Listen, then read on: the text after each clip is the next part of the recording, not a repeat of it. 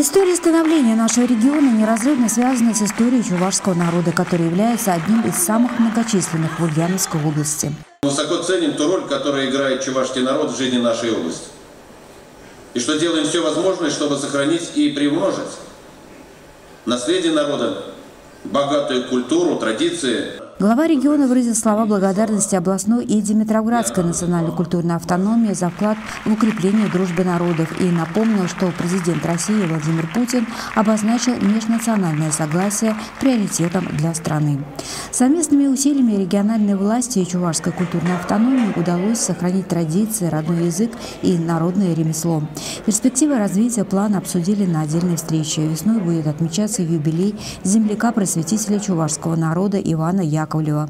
Глава региона предложил присвоить его имя Димитроградской 10 школе, ремонт которой Сергей Морозов держит под личным контролем.